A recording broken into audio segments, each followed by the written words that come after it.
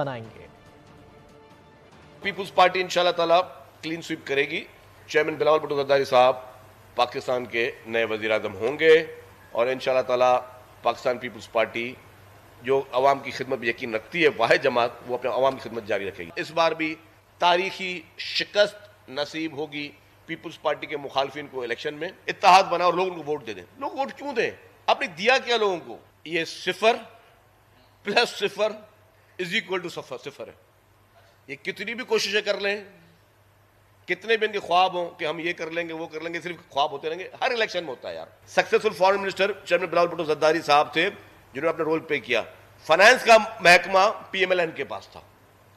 अब फाइनेंस में पीएमएलएन ने क्या किया? आईएमएफ के साथ मुजाकर टाइमली किए, नहीं किए, देर की। जिस तरह मिफ्ता इस्माइल साहब कह रहे थे कि मिस हैंडल किया गया। गलत तरीके से पॉलिसी बनाई गई। जिसकी वजह से डॉलर का रेट आपका बढ़ा, जिसकी वजह से आपकी इकॉनमी पे मजीद प्रेशर आया। हमेशा आपस में मिलते हैं। पीपुल्स पार्टी के खिलाफ तमाम लोग मुतहद होते हैं। और फिर क्या होता है? हमेशा हार जाते हैं। हल्का बंदियों और सूबाई इलेक्शन कमीशन सिंध के हवाले